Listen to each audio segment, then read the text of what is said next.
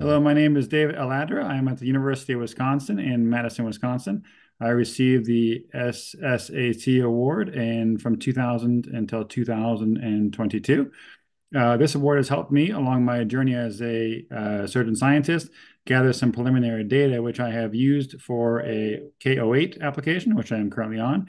And I'm also still using that preliminary data for an R01 application, which is currently in the works. Uh, that is how the SSAT award has helped me uh, fund my research career.